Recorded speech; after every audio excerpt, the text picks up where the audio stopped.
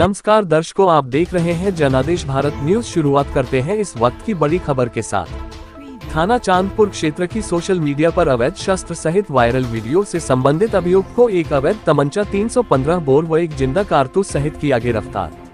दरअसल आपको बता दें 28 जनवरी को थाना चांदपुर क्षेत्रांतर्गत ग्राम बीवीपुरा बास्ता में एक युवक की सोशल मीडिया पर अवैध शस्त्र सहित वीडियो वायरल हुई।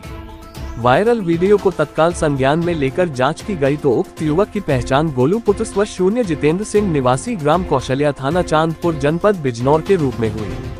वीडियो वायरल होने के बाद जनपद में अपराध की रोकथाम व अवैध शस्त्र रखने वाले अभियुक्तों की गिरफ्तारी व अवैध शस्त्रों की बरामदगी हेतु चलाए जा रहे अभियान के क्रम में थाना चांदपुर पुलिस द्वारा तत्परता से कार्यवाही से करते हुए अभियुक्त गोलू पुत्र स्व शून्य जितेंद्र सिंह निवासी ग्राम कौशल्या थाना चांदपुर जनपद बिजनौर को एक अवैध तमंचा 315 बोर व एक ज़िंदा कारतूस सहित गिरफ़्तार किया गया।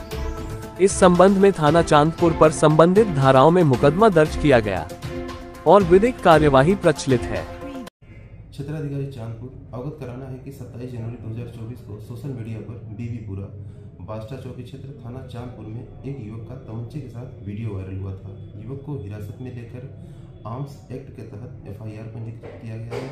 युवक को माननीय न्यायालय के समक्ष प्रस्तुत किया जा रहा है। शेष विधि कार्रवाई प्रचलित है।